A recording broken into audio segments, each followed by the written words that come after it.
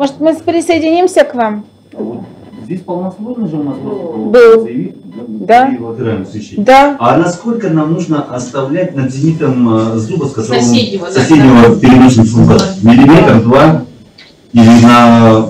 Вот этот фрагмент, который будет заживать условно вторичного натяжения. Ну, На верхней я- челюсти его не будет, на нижней челюсти он будет апикально в области слизистой, ниже мукогенгивальной Это я границы. тоже поняла. Я просто имею в виду, что, ну, допустим, что-то пойдет не по плану, пациент автоматически, там, допустим, да, не очень здоров, и будет заживать он паршивенько. А не вызовет ли это вот рубцевание, рецессию новую? Вот в этом месте. Это может вызвать э, рубец только в том случае, если вы недостаточно мобилизовались там, и у вас будет натяжение, тогда это может вызвать э, Но рубец. полнослойно э, пройти мукогенгивальную и как следует потру- ну, потрогать мобильный слост. Да, я же рассказывала. да, да, да, Да. Чтобы избежать вот этого осложнения. Да, да. Чем лучше мобилизован лоскут, тем вы надежнее его пришьете. Чем вы надежнее его пришлете, у вас меньше натяжения будет. Мобилизация А- тоже все скальпелем делается? А чем еще можно мобилизацию сделать? А как это можно? Вы мне покажете завтра? Я очень хочу посмотреть.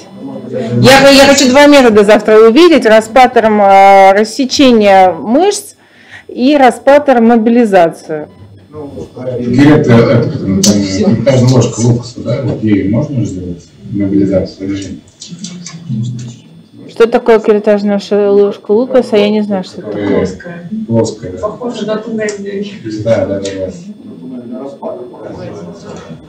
Ее же тоже можно. Задача. Вкусная крета? А, я знаю, что такое вкусная крета. Я не знала, что надо лукаса называть, не важно. Но если она у вас заточена отдельно, и она как скальпель, то ей можно, конечно. Я не знаю, как в магазине продают. Нет, мобилизацию можно сделать только скальпелем. Не- А почему вы скальпеля боитесь? Вы... А, Ну ладно, завтра будем работать с этим э, осложнением и фобиями. Открываете глаза, смотрите в рану, берете пинцет, опускаете лоскут, заводите скальпель, и вы должны видеть сквозь э, слизистую брюшко скальпеля, вся мобилизация ваша. Вы должны слизистую отслоить от мышц, от всех. Но делается это только острым методом. К сожалению, это никаким другим вариантов нету больше. Железно, нет, необсуждаемая вообще как бы вещь. Там, какими-то кюретами э, никакими это не сделаешь. Итак, мы закончили с вами устранение всяческих одиночных рецессий. Теперь у нас с вами впереди ждет множественные рецессии. Мы поговорим сначала вот о чем. Множественные рецессии Десны – процесс генерализованный, атрофический и связан с фенотипией наших пациентов, либо с наличием у них э, ортодонтического лечения, уже имеющегося, да, или оконченного, да. А, Поэтому мы работаем э, при устранении множественных рецессий уже немножко в другой плоскости потенциала организма у пациента.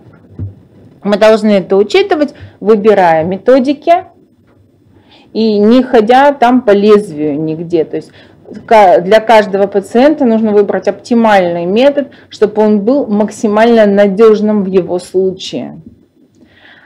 А, Мы сегодня рассмотрим с вами а, ротированный лоскут Закелисантикс, тоннельный метод и метод Виста. Это три основных базовых методики, которые отвечают за устранение множественных рецессий десны. Э, Тоннельные методы вы можете также применять при э, имплантологическом лечении да, в области э, рецессии или увеличения прикрепления десны. Ну а висты и ротированный лоскут это конкретно методы, разработанные для зубов.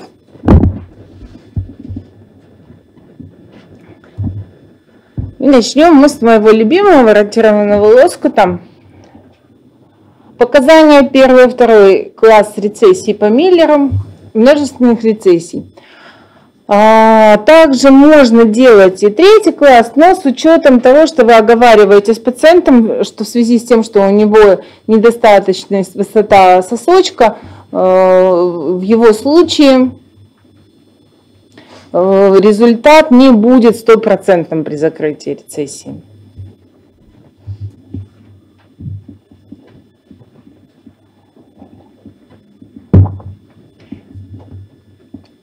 Это схема для выбора методов, но их так не так много, да, как при э, вариантов при устранении одиночных рецессий, где можно поиграть с разными методиками, покомбинировать. Здесь как бы все достаточно односложно и просто. По сути, если сосочки на третий, четвертый класс, такое очень часто бывает, когда у нас а, 3-4 класс рецессии, а сами рецессии неглубокие. Обращали внимание, да, такой хронический атрофический процесс. Вот он идет, идет, идет, идет. И ни воспаления, ничего нет. Это постепенная вот такая вот. В основном убыль больше происходит в области сосочка, а рецессии все плюс-минус там до 4 миллиметров они присутствуют. В этом случае мы никогда не выберем ротированный лоскут, потому что э, у него просто ни, ни к чему, нечего сопоставлять ни с чем. А все остальное плюс-минус можно им оперировать. И, конечно, на мой взгляд, все-таки это операция выбора для верхней челюсти. Хотя я делала ее и на нижней челюсти, и делаю. И есть пациенты, которым она подходит и показана, но для верхней челюсти она более сопоставима.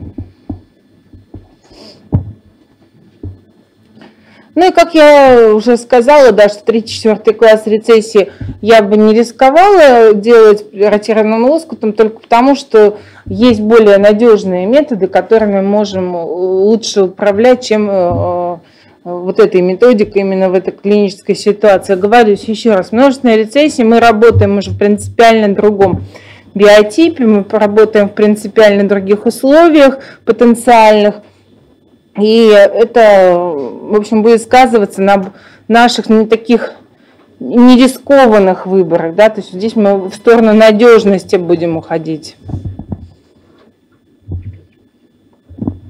Итак, дизайн. Измеряем глубину рецессии десны. Откладываем ее от вершины анатомического сосочка Ставим эту точку, это является вершиной хирургического сосочка, формируем лоскут, деэпитализируем анатомический сосочек, обрабатываем поверхность корня, мобилизуем слизистно-костичный лоскут, фиксируем э, пластический материал и потом фиксируем слизистно-костичный лоскут. Все, в принципе, ясно, понятно.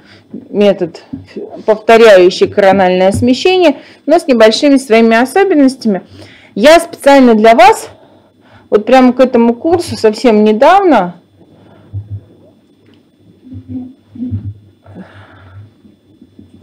сделала фотопротокол пошаговый прямо на пациентке, чтобы показать как вот прямо во рту выполняется этот метод, потому что, к сожалению, на слайдах как-то не всем понятно или не, не у всех вот этот перенос да, работает.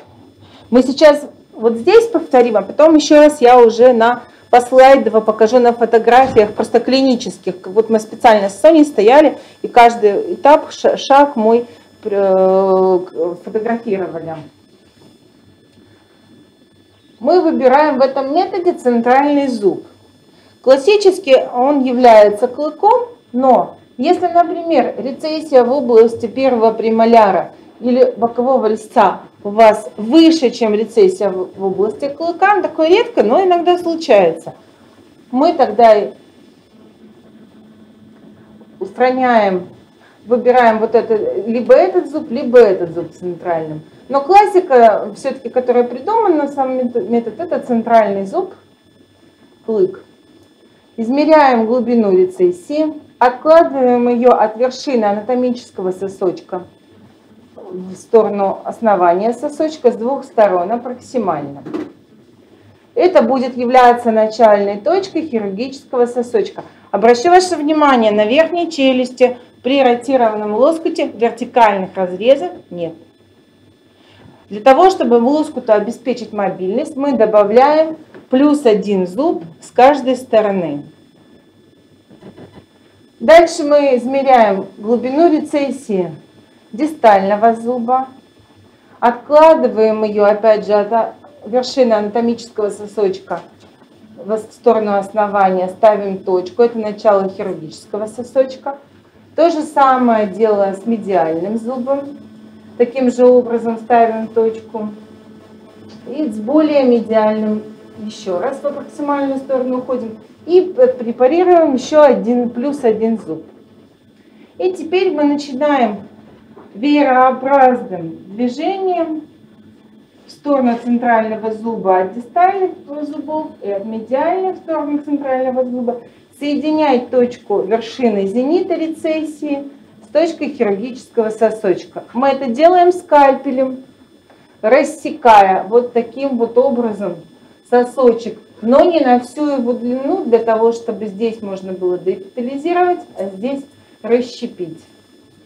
Потом мы начинаем потихонечку сулькулярный разрез, отслаивая, расщепляя межзубное пространство и формируя полнослойный лоскут, если это возможно у нас по биотипу, если мы работаем в тонком биотипе, мы этого не делаем, мы делаем полнослойный лоскут везде.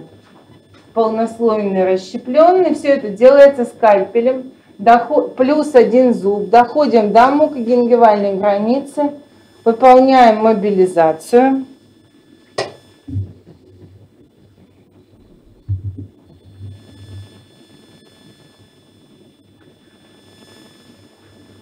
Полнослойный расщепленный.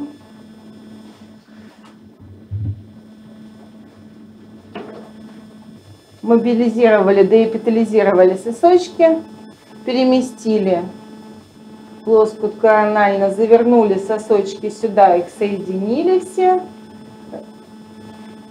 И начинаем ушивать от центрального зуба двойным сосочком и швом.